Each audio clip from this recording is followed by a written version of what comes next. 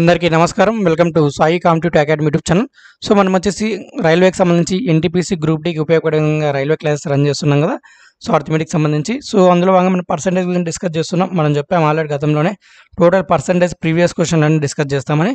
So అందులో భాగంగా already మనం మూడు వీడియోస్ కంప్లీట్ చేస్తాం ఇది నాలుగో వీడియో సో ఇందులో మనము పంతొమ్మిదో క్వశ్చన్ నుంచి ఆల్రెడీ పద్దెనిమిది క్వశ్చన్ డిస్కస్ చేస్తాం గత వీడియోస్లో ఇప్పుడు పంతొమ్మిది నుంచి ఒక ఐదు క్వశ్చన్లు డిస్కస్ చేస్తాం. సో ఇక్కడ చూడొచ్చు మీరు క్వశ్చన్ ఏంటంటే తెలుగులోను ఇంగ్లీష్లోను అలాగే ఆ పక్కన మీకు రెడ్ కలర్లో చూసుకున్నట్టయితే ఆ క్వశ్చన్ ఎప్పుడు అడిగారు ఏ ఎగ్జామ్లో ఆర్ఆర్బిజీ twenty four May two thousand nineteen institute సెషన్లో అడిగారు అనేటువంటిది కూడా మీకు మెన్షన్ చేసాం సో మీకు ఒక క్లారిటీ ఉంటుంది. క్వశ్చన్స్ ఎక్కడ అడిగారు అనేటువంటిది ఈ మోడల్లో అనేటువంటిది. సో మనకు వచ్చేటువంటి రాబోయే ఎన్టీపీసీ గ్రూప్లో కూడా సేమ్ ఇలాంటి మోడల్స్ మనకు ఎక్కువగా నైంటీ నైన్ పర్సెంట్ వచ్చేటువంటి ఛాన్స్ ఉంటుంది. సో కాబట్టి అన్ని రకాల మోడల్స్ ప్రిపేర్ అవుతే మనం ఈజీగా ఆన్సర్ చేయొచ్చు. సో ఇప్పుడైతే ఇంకా లేట్ చేయకుండా క్లాస్ అనేటువంటి స్టార్ట్ చేద్దాం. సో క్లాస్ స్టార్ట్ చేసే ముందు మీరు ఇంతవరకు మన ఛానల్ సబ్స్క్రైబ్ చేసుకోండి వెన్న అయితే సబ్స్క్రైబ్ చేసుకోండి. అలాగే మీరు మన ఛానల్కి ఏదైనా కూడా సపోర్ట్ చేయాలనుకుంటే ఇక్కడ మా యొక్క యూపీ ఐడి ఇచ్చాం. సో దాని ద్వారా మీరు మా యొక్క ఛానల్కి అయితే సపోర్ట్ చేయొచ్చు.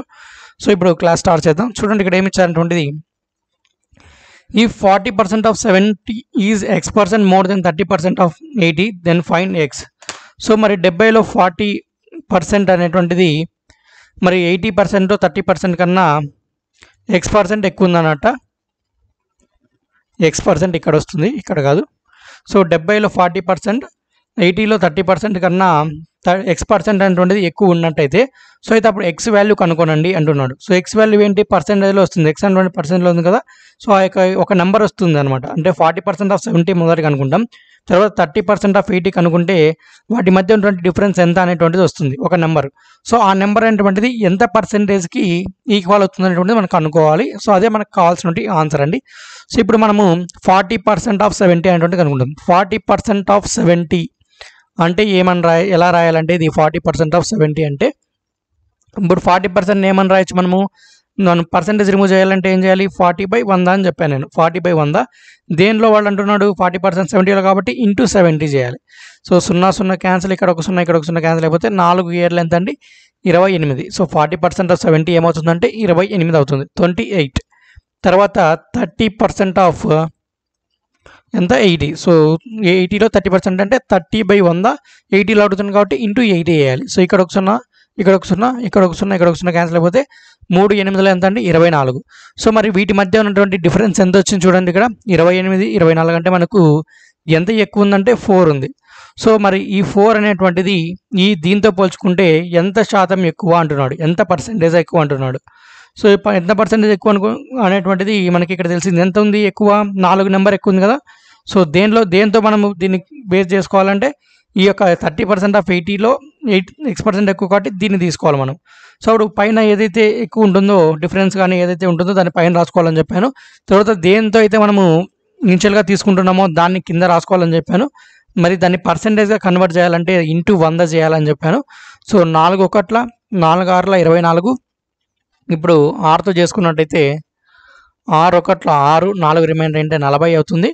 సో ఆరు ఆరుల ముప్పై ఆరు నలభై రిమైండర్ అవుతుంది మళ్ళీ కూడా. సో తర్వాత ఆర్ఆర్ల ముప్పై ఆరు so sixteen point six six అలా రిపీట్ అవుతూనే ఉంటుంది. సో అప్రాక్సిమేట్గా మనం చూసుకున్నట్టయితే దీన్ని సిక్స్టీన్ పాయింట్ సిక్స్ సెవెన్గా అయితే రాసుకోవచ్చు. So sixteen point six seven percent అనేటువంటిది ఆన్సర్ అవుతుంది. ఆప్షన్ ఏలో ఉన్నటువంటి sixteen point six six seven అనేటువంటిది ఇక్కడ మనకు కరెక్ట్ అయినటువంటి ఆన్సర్ పదహారు పాయింట్ ఆరు ఏడు. సో అర్థమైందండి. సో ఏం లేదు వాడు ఇచ్చినటువంటి values forty percent of seventy ఎంత కనుక్కున్నాం? థర్టీ పర్సెంట్ ఆఫ్ ఎయిటీ ఎంత కనుక్కున్నాం? సో వాటి మధ్య ఉన్నటువంటి తేడా ఎంత అనేది కనుక్కున్నాం? అది పర్సెంటేజ్లో కన్వర్ట్ చేయాలి. సో అది అంత పర్సెంట్ ఎక్కువ అనమాట ఈ ఫోర్ అనేటువంటిది ఎంత పర్సెంట్ చేస్తుందంటే ఈ యొక్క ఎయిటీతో పోల్చుకున్నప్పుడు thirty percent of ఎయిటీతో sixteen point six seven percent ఉండేది ఎక్కువ అవుతుంది అనమాట సో అదనమాట సో అర్థమైందా? తర్వాత క్వశ్చన్ చూడండి ఇక్కడ ఏమి ఇచ్చారంటువంటిది సో ఒక సర్వే కండక్ట్ చేస్తారు. అందులో న్యూస్ పేపర్ ఏ చదివే వాళ్ళు బి చదివే వాళ్ళు ఇంతమంది రెండు చదివిన వాళ్ళు ఇంతమంది తర్వాత రెండు చదివే వాళ్ళు ఇంతమంది అని ఇచ్చారు. సో అయితే ఎంతమంది సర్వేలో పాల్గొన్నారు అంటున్నారు. సో ఇది యాక్చువల్గా అయితే మనకు పర్సంటేజ్ కంటే ఇది వెన్ డయాగ్రామ్స్ లాంటివి యూజ్ చేసి సాల్వ్ చేస్తుంటాం. సో ఇలాంటి క్వశ్చన్స్ అనేది కాకుండా నేను ఇక్కడే చెప్తాను.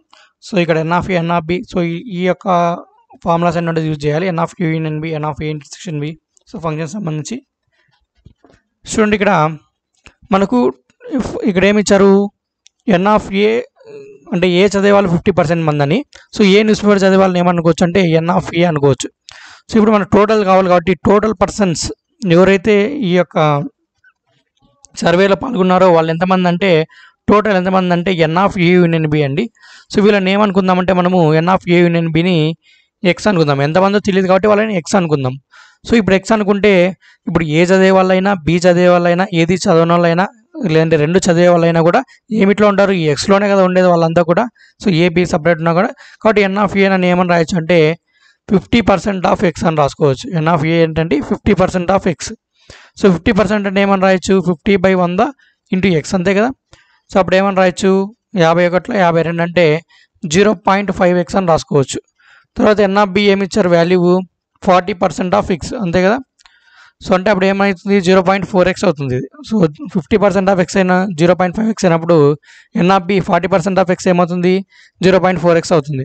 తర్వాత ఏ ఇంటర్సెక్షన్ బి అంటే రెండు చదివే వాళ్ళు వాల్యూ ఇచ్చారు డైరెక్ట్గా ఫైవ్ హండ్రెడ్ అటువంటిది సో ఇప్పుడు మనకు తెలుసు formula n of A union B equal to n of A plus n of B minus n of A intersection B so ఈ ఫార్ములాలో మనము సబ్స్టిట్యూట్ చేస్తే మనకు కావాల్సిన ఎక్స్ వాల్యూ వస్తుంది టోటల్ నెంబర్స్ మరి ఇదంటే ఫార్ములా వచ్చేసి n of A union B equal to n of A plus n of B minus n of A intersection B so ఇప్పుడు ఇందులో మనకు వచ్చినటువంటి వాల్యూ సబ్స్టిట్యూట్ చేస్తే సరిపోతుంది. N of A union B అంటే మనం ఏమనుకున్నాం ఎక్స్ అనుకున్నాం కాబట్టి ఎక్స్ అనుకుంటాం ఇక్కడ. ఎన్ ఆఫ్ ఏ ఎంత వచ్చింది మనకు? Zero point five x n of B ఎంత వచ్చింది? జీరో పాయింట్ ఫోర్ ఎక్స్ తర్వాత n of A intersection B ఎంత అండి ఐదు వందలు. సో ఎంత? ఐదు వందలు అనేది ఇచ్చాడు డైరెక్ట్గా ఇప్పుడు అన్నీ కూడా నెంబర్స్లో ఉన్నాయి కాబట్టి ప్రాబ్లం ఉండదు. ఇక్కడ పర్సెంటేజ్లో ఉన్నటువంటి ఈ ఫిఫ్టీ పర్సెంట్ని మనం ఏం చేసుకున్నామంటే నెంబర్లోకి తెచ్చుకున్నాం అనమాట సో అంతే. సో అప్పుడు ఎక్స్లన్నీ ఒకవైపు తర్వాత కాన్స్టెంట్లన్నీ ఒకవైపు ఉంచుకున్నట్టయితే x equal to zero point five x plus zero point four x ఏమవుతుందండి? జీరో పాయింట్ నైన్ ఎక్స్ అవుతుంది. మైనస్ ఫైవ్ హండ్రెడ్ అవుతుంది ఇక్కడ. సో ఇప్పుడు ఎక్స్ ఇటువైపు తెచ్చుకున్నట్టయితే x minus zero point nine x equal to ఏమవుతుందండి? ఫైవ్ హండ్రెడ్ అనుకోవచ్చు. So మైనస్తో పక్కన పెట్టేస్తే సో అప్పుడు మనకి ఏం మిగులుతుంది ఇక్కడ? జీరో పాయింట్ వన్ ఎక్స్ మిగులుతుంది. Zero point one x equal to five hundred. So x equal to ఏం కావాలి అప్పుడు? Five hundred by zero point one అనేది అవుతుంది. సో ఇప్పుడు ఇక్కడ టెన్ బై టెన్ చేసినట్టు ఏమవుతుంది? సో ఐదు వేలు బై ఒకటి. సో ఐదు వేలు బై ఒకటి అంటే ఐదు వేలు. సో అంతే కదా? సో ఎక్స్ వాల్యూ ఏమవుతుంది ఐదు వేలు అంటే ఏంటి? టోటల్ మెంబర్సే కదా? సర్వే చేసిన వాళ్ళే. సో కాబట్టి ఆప్షన్ ఏలో ఉన్నటువంటి ఐదు వేలు అనేటువంటిది ఇక్కడ మనకు కరెక్ట్ అయినటువంటి సమాధానం అనమాట సో అర్థమైందా? సో ఇక్కడ five hundred by zero point one ఉన్నప్పుడు టెన్ బై టెన్ ఎందుకు చేసామంటే ఇక్కడ జీరో పాయింట్ వన్ ఉంది కాబట్టి ఒక నెంబర్ తర్వాత అంటే పాయింట్ తర్వాత ఒక నెంబర్ ఉంది కాబట్టి ఇక్కడ చూసుకున్నట్టయితే సో కాబట్టి టెన్ చేసామండి సో అర్థమైందా? ఆ పాయింట్ నువ్వు చేసుకోవడానికి. పైన టెన్తోను కింద టెన్తో చేస్తే క్యాన్సిల్ అయిపోతే వన్నే కదా ఉండేది. మరి ఇదే వాల్యూ వస్తుంది కదా. సో దానికోసం ఇలా చేయడం జరిగింది. సో అందరికీ తెలిసే ఉంటుంది ఇలాంటి రూల్స్ అనేటువంటిది. సో ఇప్పుడు ఐదు వందలు ఇంటూ పది ఐదు వేలు అవుతుంది. Zero point one into ten one అవుతుంది. సో కింద వన్ ఉన్నా ఒకటే లేకున్నా ఒకటే. సో ఐదు వేలు బై ఒకటి అంటే ఐదు వేలు రాసుకోవచ్చు. ఎక్స్ వాల్యూ ఎక్స్ అంటే అంటే టోటల్ నెంబర్స్ ఎన్ ఆఫ్ యూనియన్వి సో అర్థమైందా? సో నెక్స్ట్ క్వశ్చన్ ఇక్కడ ఏమి ఇచ్చారంటువంటిది so twenty percent of A అనేటువంటిది బీకి సమానం అంటే బి పర్సెంట్ ఆఫ్ ట్వంటీ ఏమవుతుంది? సో ఏ యొక్క ట్వంటీ పర్సెంట్ బి అయినట్టయితే అప్పుడు ట్వంటీ యొక్క బి పర్సెంట్ దేనికి సమానం అని అడుగుతున్నాడు. సో క్వశ్చన్ ప్రకారం మనం రాసుకున్నట్టయితే twenty percent of A equal to B అంటే ఏమి? ట్వంటీ పర్సెంట్ అంటే ట్వంటీ బై వంద రాసుకోవచ్చు. ట్వంటీ బై వంద into A equal to B అనమాట అంటే అప్పుడు ఏ వాల్యూ ఎంత అవుతుంది? బి వాల్యూ ఎంత అవుతుంది? ఇరవై ఒకట్ల. ఇరవై ఐదులు అంటే A by five equal to B అని రాసేసుకోవచ్చు. అంతే కదా డైరెక్ట్గా చెప్పాలంటే A by five equal to B అని రాసుకోవచ్చు. నెక్స్ట్ వచ్చేసి ఇప్పుడు ఏమంటున్నాడు? ఇది బి వాల్యూ మనకు వచ్చేసింది ఏ బై ఫైవ్ అటువంటిది నెక్స్ట్ ఏమన్నాడు? B percent of twenty. B percent of twenty కనుక్కోమంటున్నాడు B percent of twenty అంటే ఏం రాయొచ్చు? బి బై వంద ఇంటూ ఇరవై అని రాసుకోవచ్చు. అంటే బి బై వంద ఇంటూ ఇరవై అని రాసుకోవచ్చు. సో బి వాల్యూ ఏంటి మనకు తెలుసు. బి వాల్యూ ఏంటి? ఏ బై ఫైవ్ సో ఈ బి వ్యా ప్లేస్లో ఈ బి ఇక్కడ వచ్చినటువంటి ఏ బై ఫైవ్ సబ్స్టిట్యూట్ చేస్తాం. ఏ బై ఫైవ్ బై వంద. ఇరవై అనేటువంటిది ఇంకా పైన ఉంటుంది కాబట్టి ఇంటూ ఇరవై. సో అప్పుడు ఏమవుతుంది మనకు పైన? ట్వంటీ ఏ బై ఈ వంద ఇటువైపు వెళ్ళినట్టయితే పైకి పోతే ఏమవుతుంది? Twenty A by five hundred అవుతుంది. సో ఇప్పుడు మనం ఏం రాసుకోవచ్చు? ఇక్కడ ఐదు నాలుగుల ఇరవై ఐదు పదుల యాభై. సో అంటే వంద రాసుకోవచ్చు. అంటే అప్పుడు నాలుగు బై వంద ఏ అవుతుంది? సో మళ్ళీ ఒకటి నాలుగు ఒకటి నాలుగు ఇరవై క్యాన్సిల్ అవుతుంది. కానీ పర్సెంటేజ్లో ఎక్స్ప్రెస్ చేయాలి కాబట్టి ఇప్పుడు ఫోర్ నాలుగు బై వందని ఏమని రాయొచ్చు? ఫోర్ పర్సెంట్ అని రాయొచ్చు కదా? ఇప్పుడు మనకు ఫోర్ పర్సెంటేజ్ ఆఫ్ ఏ అంటే మనం ఏ విధంగా రాస్తాము? నాలుగు బై వంద ఇంటూ ఏనే కదా రాసేది? సో మనకి ఇక్కడ కూడా ఇలాగే కదా వచ్చినది నాలుగు బై వంద ఇంటూ ఏ అంటే ఏమని రాయొచ్చు? ఫోర్ పర్సెంట్ ఆఫ్ ఏ అని రాయొచ్చు. సో అప్పుడు బి పర్సెంట్ ఆఫ్ ట్వంటీ దేనికి సమానం అవుతుంది? ఫోర్ పర్సెంట్ ఆఫ్ ఏకి సమానం అవుతుంది. ఆప్షన్ బిలో ఉన్నటువంటి ఫోర్ పర్సెంట్ ఆఫ్ ఏకి సమానం అవుతుంది. సో అర్థమైంది అనుకుంటే అందరికీ క్లియర్గా? తర్వాత చూద్దాం. చూడండి ఒక బుక్ యొక్క ప్రైస్ అనేటువంటిది మొదట ఇరవై ఐదు శాతం పెరిగిందంట. ఆ తర్వాత ఇరవై పర్సెంట్ తగ్గించారంట. అయితే దానిలో ఏమైనా చేంజ్ వచ్చిందా అని అంటున్నారు అడుగుతున్నారు. సో ఇది ప్రాఫిట్ అండ్ లాస్ సంబంధించినటువంటి లెక్కే. సో ఇది కూడా నేను ఇక్కడే చెప్తున్నాను కొద్దిగా. సో ఎందుకంటే అంత పర్సంటేజ్లోనే క్యాలిక్యులేట్ చేసి ఉంది కాబట్టి. సో ఏం లేదు. ఒక బుక్ ప్రైస్ అనేటువంటిది ఫర్ ఎగ్జాంపుల్గా వంద రూపాయలు అనుకున్నాం బుక్ అనేటువంటిది. సో ఈ యొక్క వంద రూపాయలు ఏమైందంట? ఫస్ట్ ఏం చేశారంటే ట్వంటీ ఫైవ్ పర్సెంట్ ఇంక్రీజ్ చేశారంట. ట్వంటీ ఫైవ్ పర్సెంట్ ఇంక్రీజ్ చేస్తే ఏమవుతుంది? నూట ఇరవై ఐదు రూపాయలు అవుతుంది. సో అంతే కదా? సో మరి ఏం చేశారంటే దీంతో నుంచి ఇరవై శాతం అనేటువంటిది వాడు తగ్గించాడనమాట.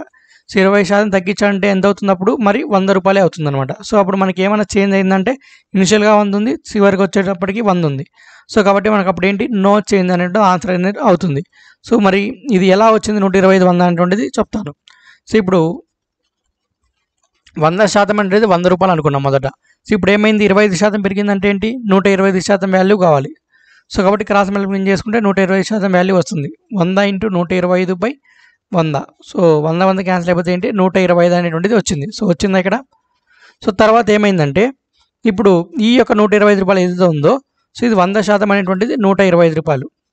దీంతో ఏం చేస్తారంటే ఇప్పుడు ఇరవై శాతం తగ్గించారంటే ఎయిటీ పర్సెంట్ వాల్యూ కనుక్కోవాలి. సో ఇరవై శాతం తగ్గించారంటే ఎయిటీ పర్సెంట్ వాల్యూ కనుక్కోవాలి. దీనికోసం ఏం చేయాలి మళ్ళీ? Cross multiplication. నూట ఇరవై ఐదు ఇంటూ ఎనభై బై వంద. ఇరవై ఐదు నాలుగుల ఇరవై ఐదు ఐదుల. సో నాలుగు ఒకట్ల నాలుగు ఇరవైల. అంటే ఐదు ఇంటి ఇరవై ఏంటంటే వంద రూపాయలు. కాబట్టి వంద రూపాయలు ఇక్కడ రాశాను అనమాట సో అర్థమైంది అనుకుంటే ఎలా వచ్చాయటువంటిది నూట ఇరవై ఐదు వంద. సో వందకి ఇరవై ఐదు శాతం కుడితే నూట ఇరవై ఐదు. మరి నూట ఇరవై ఐదులో ఇరవై శాతము తీసేసినట్టయితే మనకు వంద రూపాయలు రావడం జరుగుతుంది. సో అర్థమైందా? సో కాబట్టి మనకి ఏం చేంజ్ అయింది ఏమి చేంజ్ అవ్వలేదు. కాబట్టి నో చేంజ్ అనేటువంటిది ఆన్సర్ అవుతుంది. సో అర్థమైంది అనుకుంటా తర్వాత చూద్దాం. చూడండి ఇక్కడ నెక్స్ట్ క్వశ్చన్ ఏం అడిగారు అనేటువంటిది ఒకసారి. చూడండి ఇక్కడ నలభై రెండు నెంబర్ అనేటువంటిది ఉంది. సో ఈ నలభై రెండు అనేటువంటిది చదవాలి వాళ్ళు యాక్చువల్గా కాకుండా దాన్ని ఏమని చదివారంటే ఇరవై నాలుగుగా చదివారు. సో నలభై రెండుని ఇరవై నాలుగుగా చదివారు. సో అయితే వాటితో అంటే ఏంటి దానివల్ల కొంచెం తేడా చదివారు ఇంత అమౌంట్ అనేటువంటిది నెంబరు సో అయితే ఆ వచ్చినటువంటి నెంబర్ ఏదైతే తేడా ఉంటుందో దాని యొక్క పర్సంటేజ్ ఎంత అనేటువంటిది అడుగుతున్నాడు. సో పర్సంటేజ్ కనుక్కోవడానికి ఫస్ట్ దీని వీటి మధ్య తేడా ఎంత కనుక్కుందాం. నలభై రెండులో ఇరవై నాలుగు పోతే ఎంత అండి? పన్నెండులో నాలుగు పోతే ఎనిమిది మూడులో ఒకటి పోతే మూడులో రెండు పోతే ఒకటి. సో పద్దెనిమిది అనేటువంటి తేడా జరిగారు మరి ఈ యొక్క పద్దెనిమిది అనేటువంటిది ఎంత శాతం అని అడుగుతున్నాడు. సో దేని నుండి తీసుకోవాలి? పద్దెనిమిది. తేడా ఎంత? పద్దెనిమిది. సో మరి దీన్ని ఇనిషియల్గా దేంతో తీసుకోవాలి? నలభై రెండుతో తీసుకోవాలి. సో నలభై రెండుతో తీసుకోవాలన్నమాట. సో ఈ దేంతో తేడా? నలభై రెండుతో. సో పద్దెనిమిది బై నలభై రెండు ఇంటూ వంద. ఎందుకంటే మనకు ఆ యొక్క నలభై రెండు నెంబర్ అనేది ఉండాలి యాక్చువల్గా కాకుంటే వాళ్ళు ఏం చేసి ఇరవై నాలుగు చదివారు కాబట్టి సో మనం ఇది దేంతో పోల్చాలి? ఇప్పుడు ఇరవై నాలుగుతో పోల్చకూడదు ఆడ. సో ఏదైతే ఒరిజినల్ వాల్యూ ఉంటుందో సో దాంతోనే పోల్చాలన్నమాట. కాబట్టి కింద నలభై రెండు అనేది రాసుకున్నాం. సో ఇప్పుడు మనం దీన్ని సాల్వ్ చేసుకుంటే ఏమవుతుంది? పద్దెనిమిది ఇంటూ వంద బై నలభై రెండు. సో రెండు రెండు నాలుగు రెండు ఒకట్ల రెండు. సో రెండు యాభైలు మూడు ఏళ్ళు మూడు ఆరులు. తర్వాత ఇంకా సరిపోతుంది. ఐదు ఆరు యాభై ఆరుల మూడు వందలు బై ఏడు. సో ఇది మనకు దీని పర్సంటేజ్లో కన్వర్ట్ చేసుకుంటే సరిపోతుంది. సో దీన్ని చూసుకున్నట్టయితే ఏడుతో మూడు వందలు చేసుకుంటే మనకు కావాల్సిన ఆన్సర్ వస్తుంది. సో ఏడు నాలుగు ఇరవై ఎనిమిది రెండు రిమైండర్ సున్నా ఏడు రెండుల పద్నాలుగు ఆరు రిమైండర్ తర్వాత పాయింట్ పెట్టుకొని సున్నా పెట్టుకుంటాం. ఏడు ఎనిమిదిల యాభై ఆరు నాలుగు పెట్టుకొని సున్నా పెట్టుకుంటే ఏడు ఐదుల ముప్పై ఐదు. సో ఐదు రిమైండర్. తర్వాత ఏడు ఏళ్ళ నలభై తొమ్మిది సో ఒకటి రిమైండర్. సో అంటే forty two point eight five seven percent అప్రాక్సిమేట్గా చెప్పాలంటే so fifty eight eight five seven అంటే ఏమని రాసుకోవచ్చు అంటే forty two point eight six percent దగ్గరగా అనేటువంటిది రాసుకోవచ్చు. ఎందుకంటే మనకు ఆప్షన్లో ఎయిట్ ఫైవ్ సెవెన్ లేదు. ఎయిట్ సిక్స్ కాబట్టి దగ్గరగా ఉంది కదా దానికి అనేటువంటిది. అందుకే ఇక్కడ డిసిమల్ అనేటువంటిది రిపీట్ అవుతూ వస్తుంటుంది అనమాట ఇంకా సో ఇది అంటే ఇది స్టాప్ అవ్వదు ఇది. ఇంకా పాయింట్ కొద్ది మనం రాసుకుంటూ వెళ్తే ఇలా ఎన్ని పేజీలైనా కూడా ఇంకా ఇది సాల్వ్ అవ్వదు ఎప్పటికి కూడా. సో కాబట్టి ఇలా రికరింగ్ అవుతూనే ఉంటుంది నెంబర్ అనేటువంటిది. సో కాబట్టి ఎయిట్ ఫైవ్ సెవెన్ అనేది అప్రాక్సిమేట్గా ఎయిట్ ఎయిటీ సిక్స్గా రాసుకోవచ్చు. సో కాబట్టి ఆప్షన్ సిలో ఉన్నటువంటి forty two point eight six అనేటువంటిది ఇక్కడ మనకు కరెక్ట్ అయినటువంటి సమాధానం అండి. సో అర్థమైంది అనుకుంటా? సో ఇది ఈ వీడియోలో సాల్వ్ చేసిన ఐదు ప్రశ్నలు. సో ఒక్కొక్కటి ఒక్కొక్క రకంగా ఉన్నాయి. సో అర్థమైంది అనుకుంటా? ఇలా ఇచ్చినప్పుడు ఎలా రాయాలి? సో ఇంత నెంబర్లో నుంచి ఇంత పర్సెంట్ ఇచ్చినప్పుడు forty two percent of twenty అని అనుకోండి దాన్ని ఎలా రాసుకోవాలి? సో ఇలా ఎర్రర్ ఇచ్చినప్పుడు ఎలా రాసుకోవాలి? సో అనేది అర్థం ఒకవేళ ప్రైస్ సంబంధించి ప్రాఫిట్ అండ్ లాస్లో వస్తాయి అవి. సో ఇక్కడే ఒకటి రావాలని చెప్పాను. సో అలా ఇచ్చినప్పుడు ఎలా చేయాలి? సో అనేటువంటిది మీకు ఒక ఐడియా అనేటువంటిది వచ్చి ఉంటుంది అనుకుంటా? సో సో ఇదండి మరి ఈ వీడియో. మరి ఈ వీడియో నచ్చితే లైక్ చేయండి షేర్ చేయండి అలాగే మన ఛానల్ సపోర్ట్ చేయాలనుకుంటే పైన యూపీఐ ఉంది దాని ద్వారా సపోర్ట్ చేయొచ్చు. తప్పకుండా మీరు సబ్స్క్రైబ్ చేసుకొని షేర్ చేయడం అయితే మర్చిపోకండి మీకు ఇంకా మంచి మంచి వీడియో తీసుకోవడానికి అయితే ప్రయత్నం చేస్తాం. ఓకే అండి ఇలాంటి మరిన్ని క్వశ్చన్స్తో నెక్స్ట్ వీడియో కలుద్దాం. అంతవరకు సెలవు. జై హింద్.